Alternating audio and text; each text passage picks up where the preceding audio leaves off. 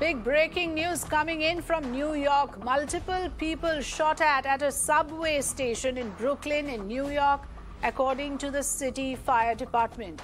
Further details not immediately available. What we do know is that gas mask wearing gunmen have shot multiple people in the New York subway, at least 13 injured in the subway shooting. This is information released by New York City Fire Department. 13 injured in a random shooting incident in Brooklyn subway. That's the information coming in here on the program. A mask wearing man have gone on a shooting spree, according to the New York Fire Department.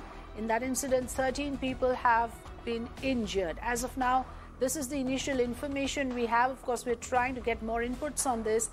The New York City Fire Department has uh, just released initial input saying 13 people have been injured. We do not know the status of the injured as of now, except that they were the ones shot at by a mask wearing man, and this happened in Brooklyn of New York.